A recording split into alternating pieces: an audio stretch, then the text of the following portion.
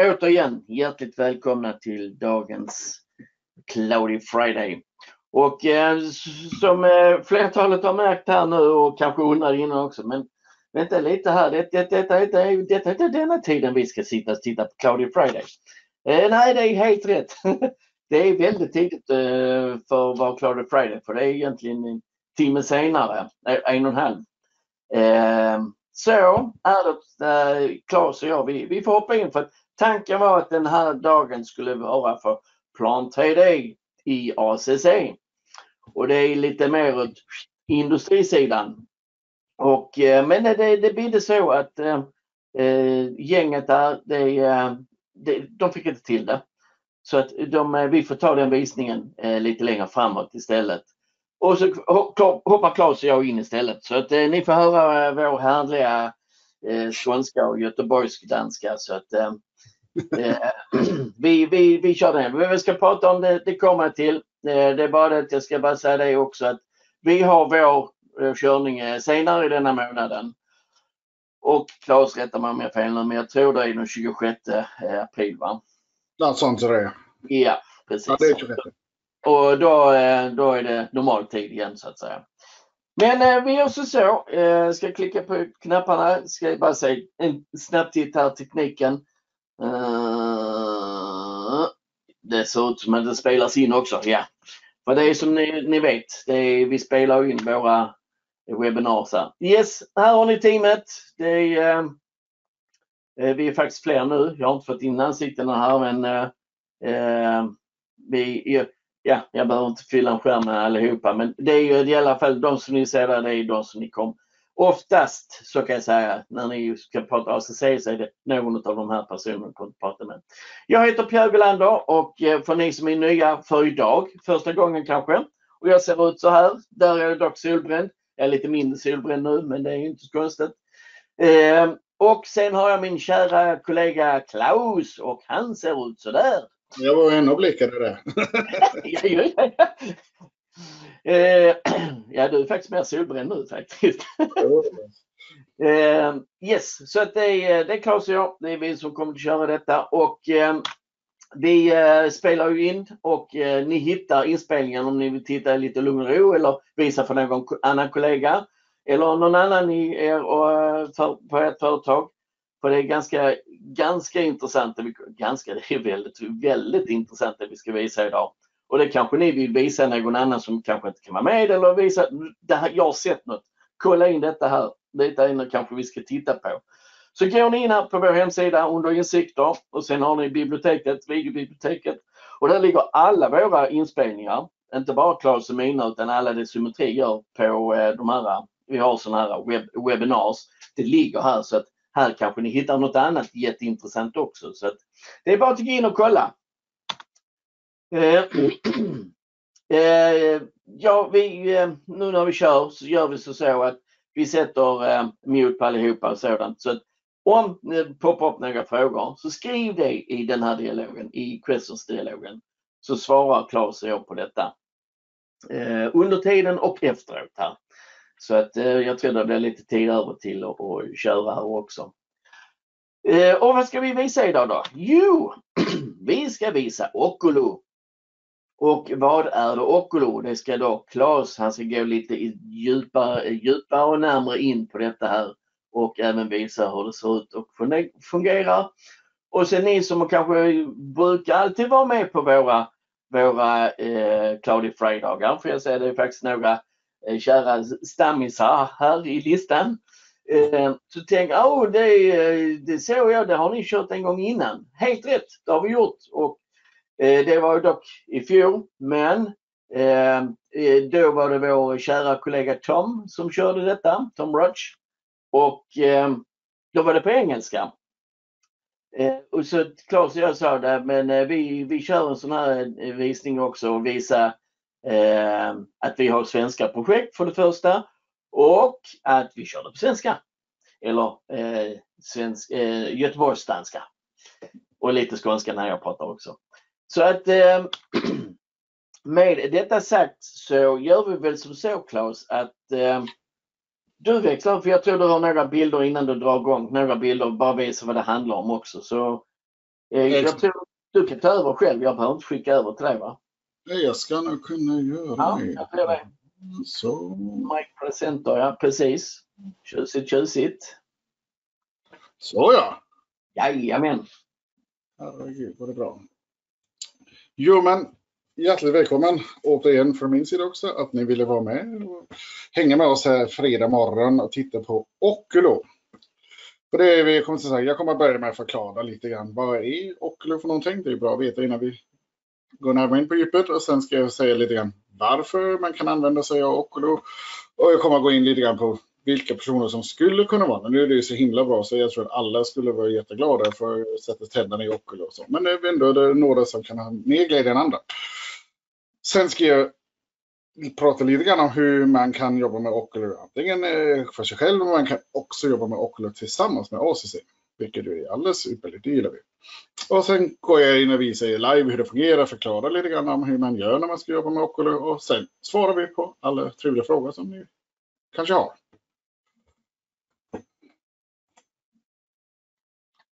Då ska vi hoppa över den, för den har Pierre redan visat. Så tar vi så.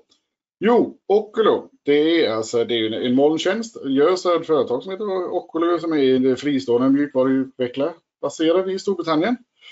Och de har liksom fått den här idén att de skulle kunna göra den, all den här dokumentation som vi gör i byggbranschen, bland annat, kan man göra den mycket enklare och effektivare, och kraftfullare så skulle de ju liksom vara glada och nöjda. Så de vill gärna bistå med det. Och då har de då gör, gjort en tjänst där de med hjälp av AI och machine learning så nästan kan alltså sätta ihop 3D, alltså 360 videomaterial ihop med BIM-modeller. Det är liksom grundprincipen. Så man gör en filminspelning och det gör man egentligen med, som man ser det på filmen här, med en vanlig 360-kamera och sen har man en vanlig BIM-modell och så kan man då sätta ihop de här två och så får man rätt unika features och funktioner. Så att eh, varför skulle man då göra vilja detta? Ju? Men det kan man ju då, för det första så ger det en extremt kraftfull projektbevakning. Alltså man kan ju i princip göra byggplatsbesök hemifrån då. Och det är liksom en väldigt detaljering sätt att liksom, du kan bevaka framdriften och du kan visuellt dokumentera hela byggnationen. Och det gör ju att det förbättrar exempelvis för sättet att du kan göra kvalitetskontroll. Då. Alltså du kan jämföra 3D-modellen med realtidsfilmningen. Se hur går det, uppfyller vi byggstandard och så vidare. Du kan vara ganska proaktiv när det gäller kvaliteten. Du kan förhindra kanske ombyggnationer och förseningar genom att du kan bli en upps, alltså ticka, oj, här eh, upptäcker, här är vi kanske på väg åt fel håll. Eller det är något annat galet som vi behöver justera eller så. Så på något sätt blir det mycket enklare att fånga upp det. Och man kan ju till och med, alltså det är ett sådant system där man bjuda in andra personer. Det är, det är liksom fritt med hur många personer du vill ha in i ditt projekt och så vidare. Så då kan du bjuda in andra och se de ska titta på det. Kan det här vara bra eller dåligt och så vidare. Så det gör att man får mer koll på kvaliteten och så vidare. Men som sagt, det var jag lite inne på nu, så ger det ju också en, en bättre kommunikation och en samordning. Att en bevaka byggplatsen från distans, men också att olika intressenter, du kanske ska ha en ny underentreprenör in, då kan de i princip göra ett digitalt byggplatsbesök planera sitt arbete, sin etablering innan de ens är på byggplatsen. Och så sparar man liksom både resekostnader och en himla massa tid och så vidare. Man kan samordna också när man har byggmöten, så kan man sitta och samordna utan man behöver vara på plats. Och så är det ju också liksom mycket kring säkerhet och eh, överensstämmelse, jag menar mot rutiner och planer och sådana Så tänk också om det liksom skulle, det hemska skulle inträffa, du får olyckor eller sådana grejer på byggplatsen och så vidare. Så för upptäcken, vad kan ha gått fel och så vidare, då skulle du här liksom kunna gå in på byggplatsen vid ett specifikt datum och se hur såg det faktiskt ut? Hur var det då?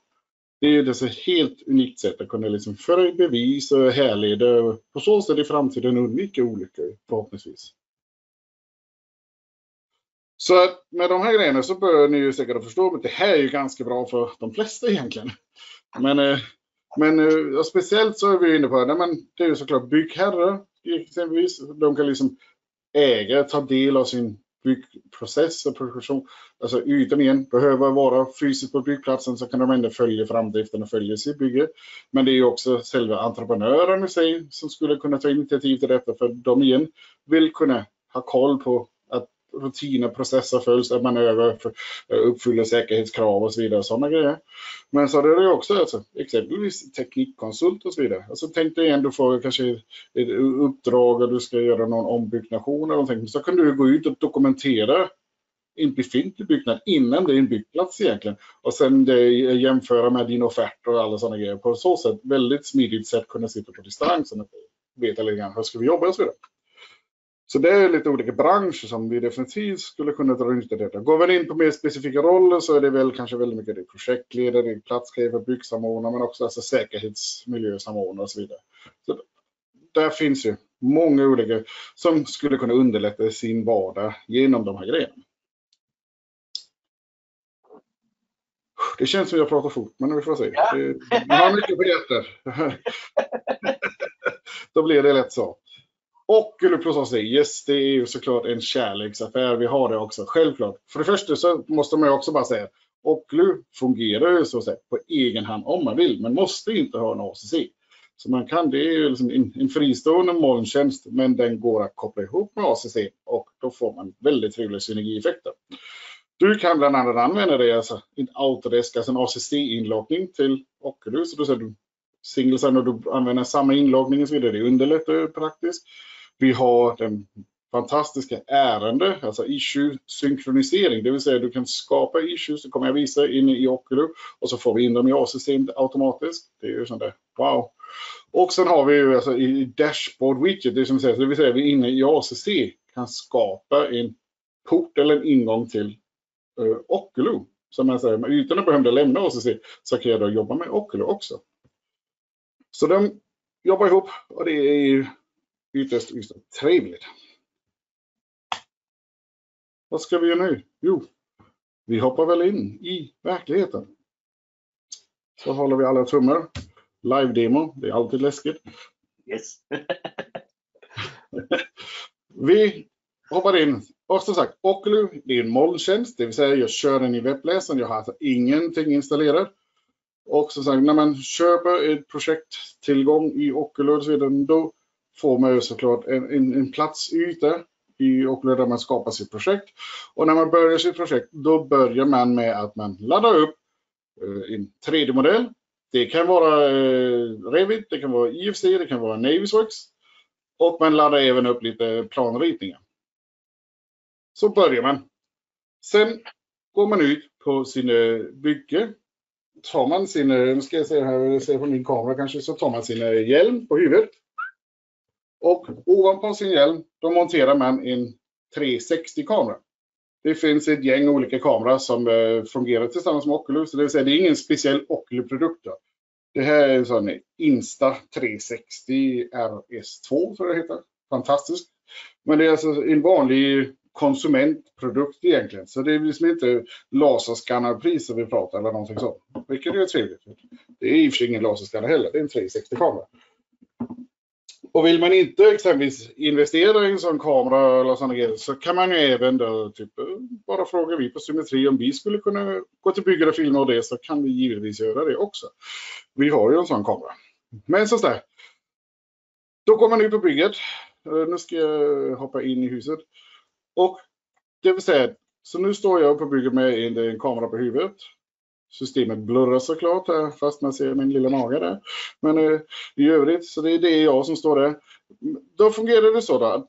För varje scanning man liksom gör lagras det i projektet. Så därför står det här 27 mars, det var ju senaste jag var där på det här huset och scannade.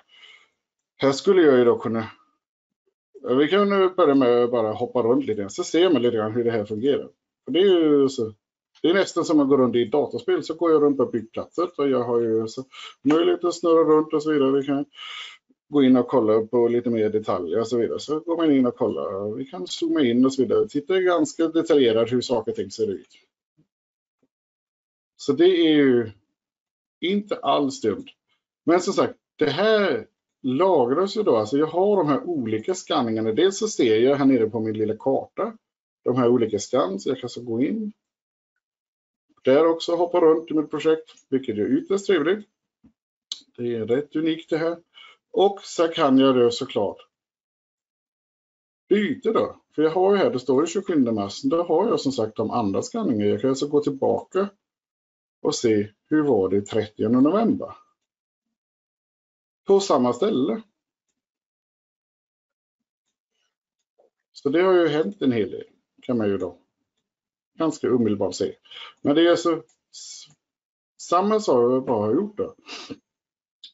För att kunna jämföra de här två så skulle jag då kunna hoppa här till min comparison mode. Och då kan jag alltså nu plötsligt titta på båda samtidigt. Så då blir det väldigt tydligt igen att det har hänt mycket, mycket mer. Eh, jag skulle kunna gå tillbaka så kan vi gå ut här exempelvis. Och sen kunna jämföra vad som har hänt här då.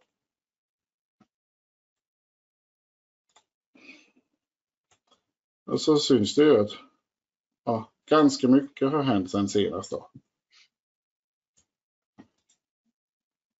Och det är ju otroligt bra. Men vi kan ju såklart vi går hit borta så alltså, kan man ju liksom fundera på men eh, vad skulle det bli här kanske i skedet så kan jag faktiskt gå och jämföra också med min BIM-modell. Så då ser jag liksom grann hur skulle det bli också för hur långt hade vi kommit nu? Ja, jag ser, oj det fattas ju en braskamin där. Så på det sättet ger det mig otroligt unikt sätt att följa. Och det här använder ju sig av, eh, alltså det är ju egentligen ACC-motorn vi har. Så jag kan ju se all modelldata. Det har jag ju här. Jag kan gå och mäta i modellen och så vidare. För det är ju i princip som jag jobbar på i ACC och så vidare. Jag skulle kunna frigöra också om jag vill hoppa runt och så vidare. Titta den här. Eller något annat så. Så går det alldeles ypperligt. Men det är ju liksom rätt unikt. Och de här grejerna det liksom, ska matchas, eh, 3D-scan eller eh, 360-scanning mot modell och så vidare. Det är ju en del av de här tjänsterna och funktionerna som finns i Oculus. det vill säga för mig som användare är det superenkelt. Det är inget svårt. Jag ska inte kunna hantera de här grejerna överhuvudtaget. Jag ska gå och göra min inspelning, vilket i princip är bara att gå en promenad på bygget. Och sen ska jag då eh, ladda upp mina filer till Oculus och lösa Oculus resten. Så det är eh, också på så sätt väldigt, väldigt lätt att använda och hantera.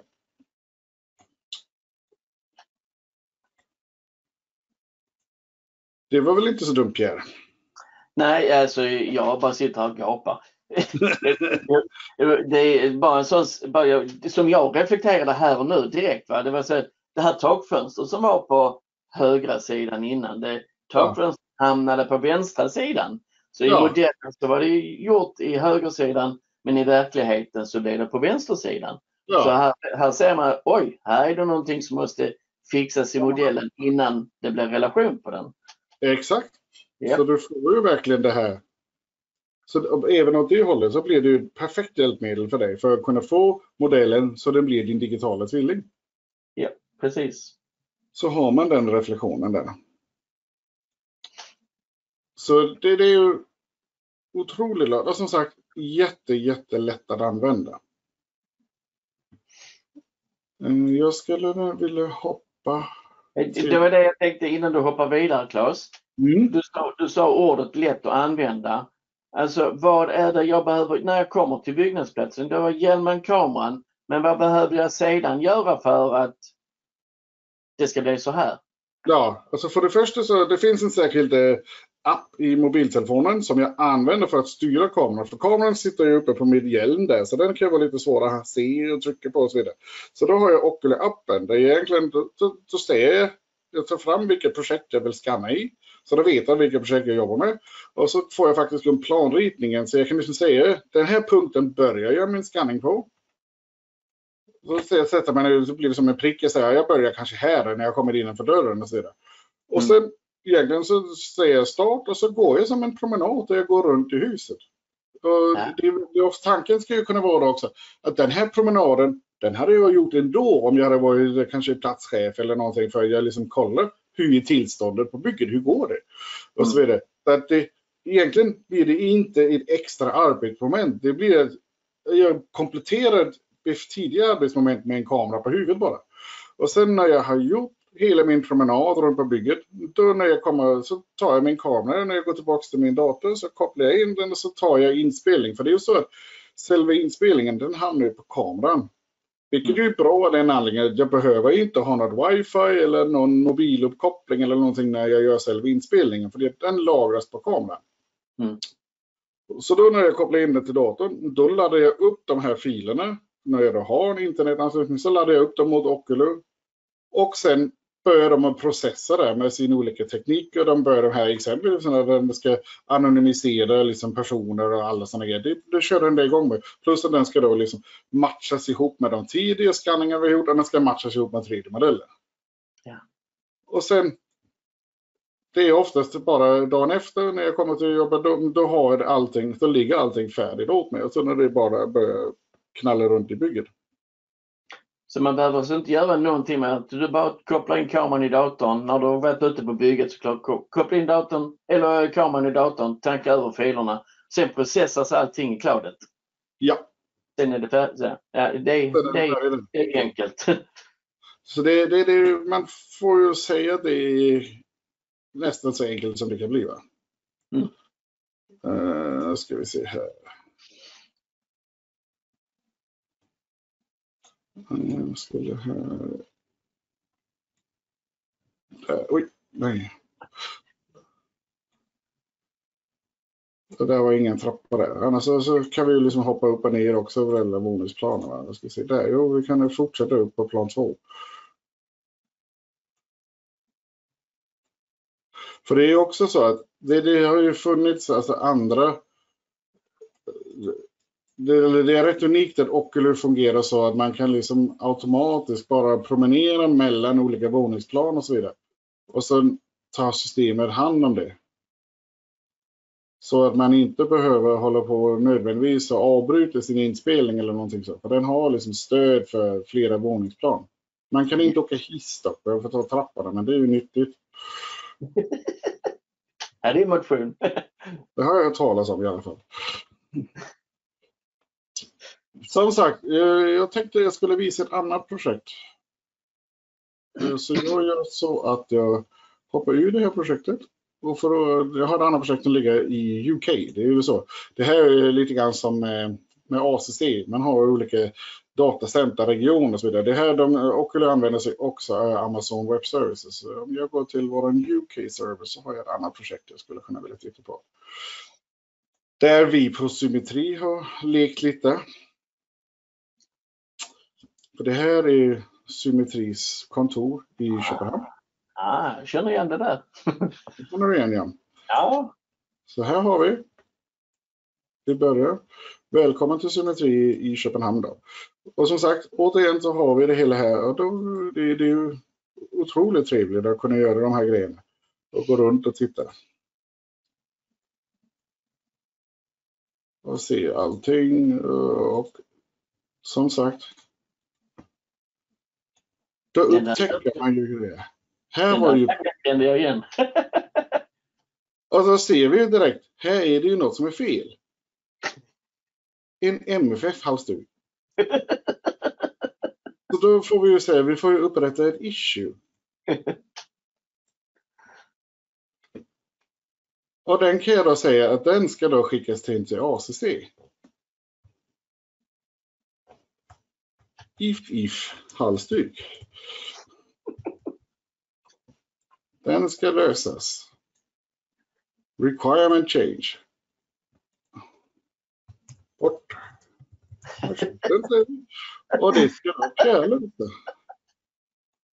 Så nu kommer han ju få ett ärende i ACC. Och det här bör ju gärna vara löst typ idag. Då skapar vi ett ärende. Så nu den, dels eh, fångar den ju bilden. Den går nu in och så skapar den ju det eh, ärendet i issued här. Så jag ser det inne i Oculus såklart. Alla som använder Oculus kan ju se det. Men som sagt, den skapar det också i ACC. Så jag har ju ACC igång här. Och det är då det här projektet, Köpenhamns kontor.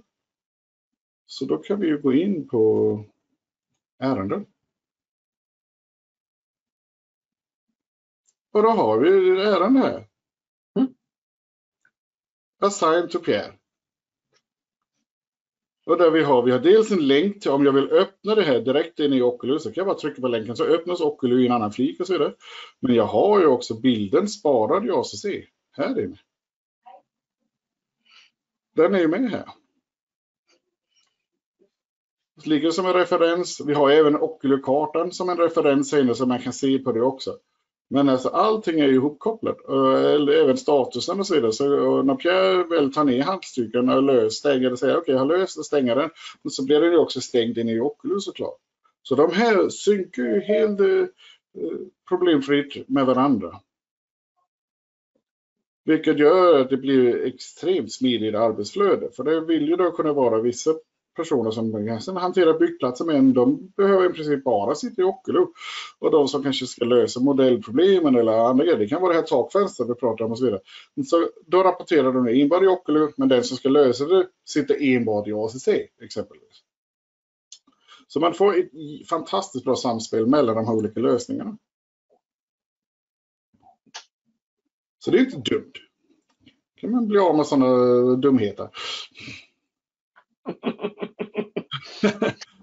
eh, sen var det ytterligare ett sätt där eh, och lirar ihop med ACC som är ytterst nice eller trevligt.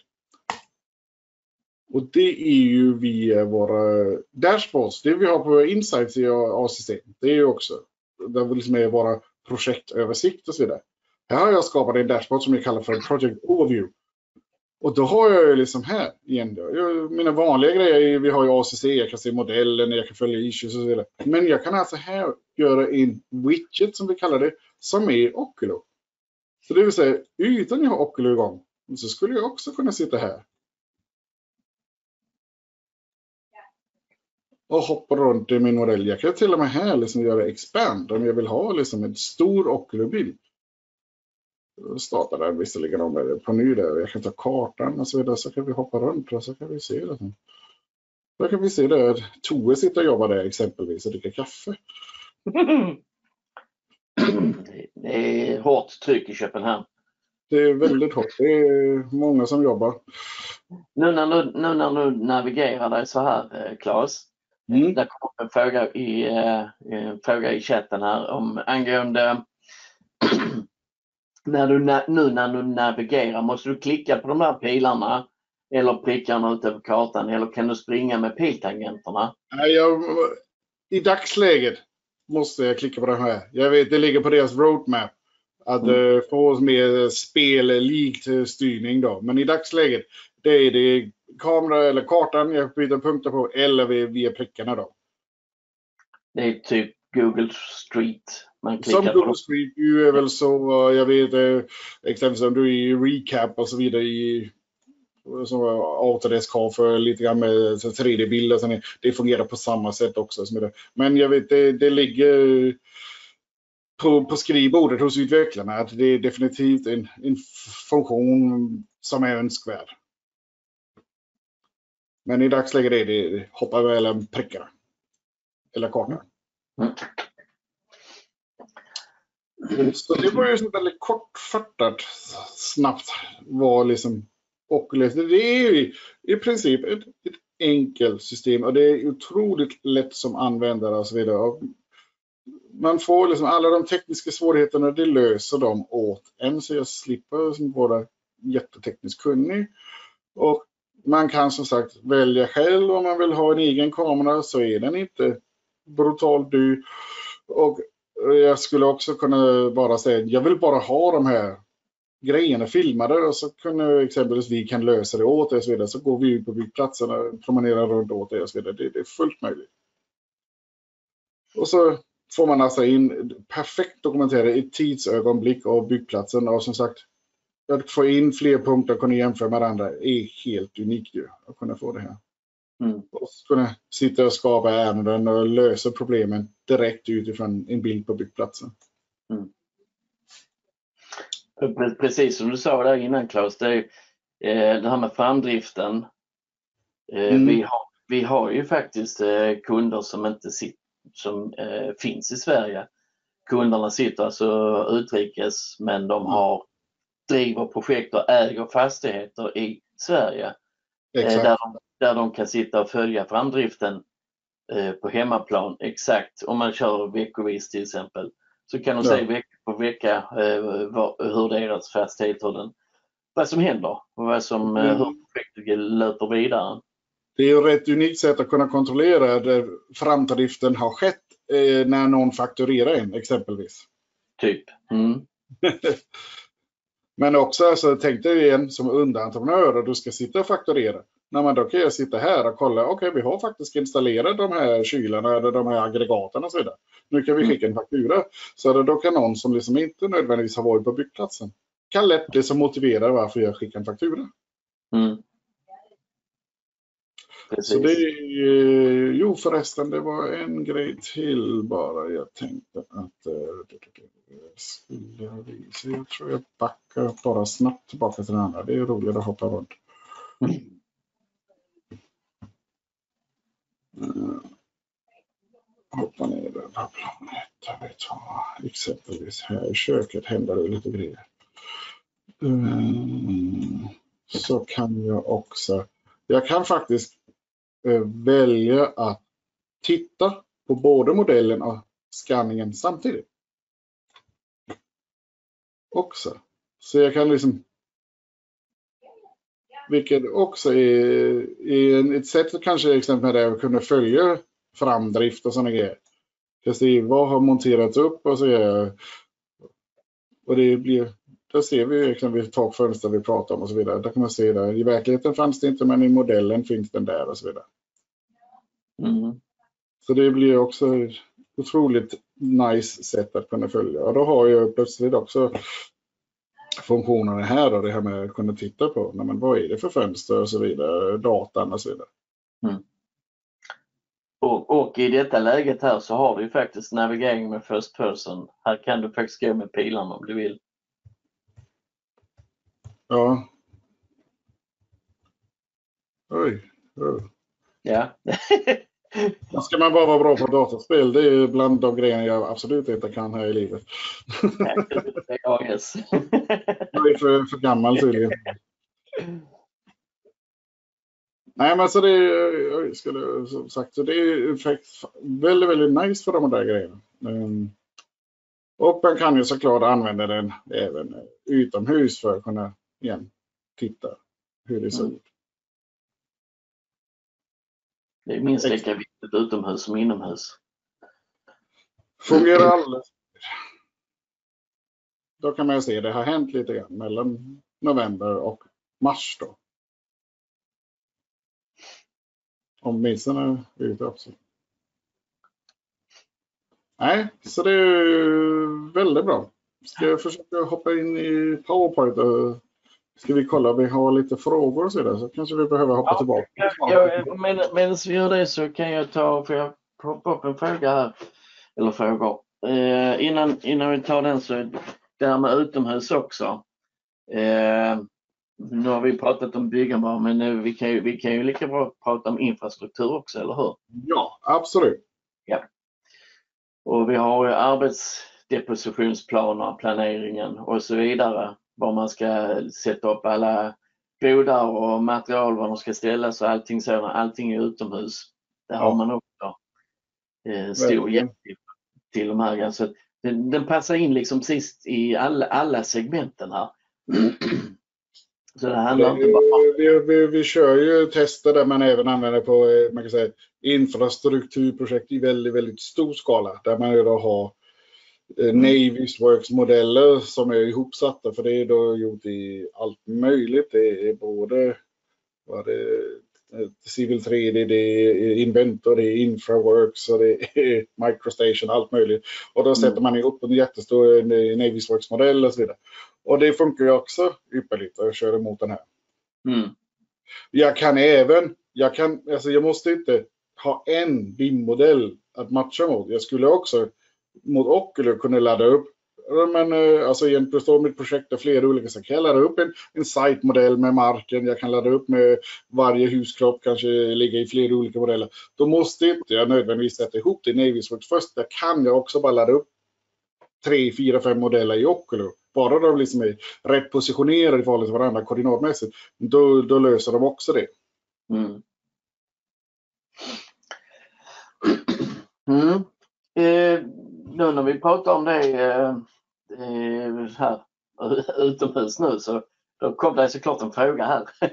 och eh, det är kan man, ha, ha, ha, kan man arbeta med Oculo med en drönare? Eh, det, vi kan säga det, det pågår försök just nu. Mm. för det, det, det finns drönarfästen för de här kamerorna. Och kamerorna är inte tyngre att drönaren kan bära det. Sen, det, men det, man ska ju bara passa på att man inte flyger för snabbt då, för det är klart den behöver lite tid på sig för att det ska kunna bli en bra kvalitet. Men eh, jag vet att det finns folk som vill hålla på och testa det. här. Jag har inte hört resultaten än och hur det har gått med, med de här testen. Men det finns definitivt planer på det. Rent tekniskt finns det inga hinder så. Och den ligger ju faktiskt på deras roadmap också, Oculus. Ja, de vill själv liksom, men alltså, officiellt säger de inte, de går inte ut och säger att det funkar, men, eh, men det, jag, jag, vet att vi har kunder som vill göra de här försöken, för det är som sagt mm. mycket trevligt. De är intresserade av här storleken på, eh, på detta exempelprojektet som vi hade. Vi har ju det, det, denna kåken som vi har här. Storleken på bilderna. Eh, vad, vad är det för size vi pratar om här? Det är, för det första så finns det två olika kvalitetsinställningar man kan välja. De har både något de kallar för timelapse och så har de high definition. Då. Och kör man den här timelapse så blir det relativt små uh, filer. Så då, men, men kvaliteten blir också såklart sämre. Så jag skulle rekommendera att köra i den high definition. Men, men då blir ju filerna lätt, alltså kameran i sig har en begränsning då på 30 minuters inspelningar. Överstiger man 30 minuter, då bryter kameran och börjar på en ny. Det är för att inte skapa för stora filer.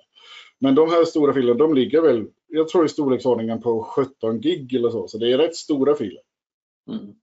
Och det gör kameran spelar in då både på höger och vänster sida så gör den även in en sån samordningsfil. Så man får tre, film, eller tre filer för varje inspelning. Och de är som sagt i de här storleksordningarna så det, det blir mycket data. Men som sagt igen, eh, det finns inga begränsningar för hur många scans du kan göra eller så. så det, det, det är bara att lasta upp. Det är klart, det är, det är inte lämpligt kanske att lasta upp det med mobildata.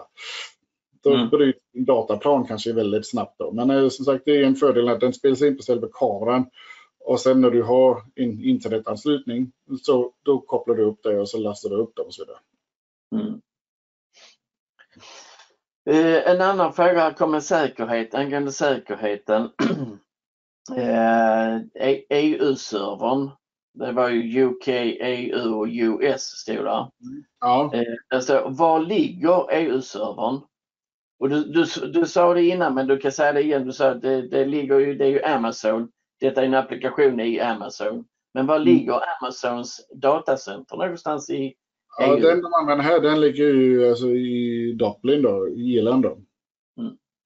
Precis som det som Autodesk använder också. Så det är, ja. de tar liksom ryck på varandra eller det är, mm. och ryck på Autodesk och gör som dem. Ja, det är samma datacenter både US och EU. Det är, det är ju Amazons. Så det är ju ja, det är inte Oculus datacenter, det är inte Autodesk datacenter Nej. utan det är eh, AWS Ja, precis. Amazon Web Services. Så det är det de, det, är det. det finns igen. De har också dokument, de har sådana här security papers. Så där, där får ni jättegärna sträcka ut en hand om ni vill ha mer info om de här säkerhetsdetaljerna så kan vi ju eh, mejla ut det till det så ni kan läsa på det i lugn och ro och så vidare. Mm. Och som sagt, så det, det kan vi absolut förse er med mycket mer detaljer, detaljer omkring säkerheten och sekretess och. Mm.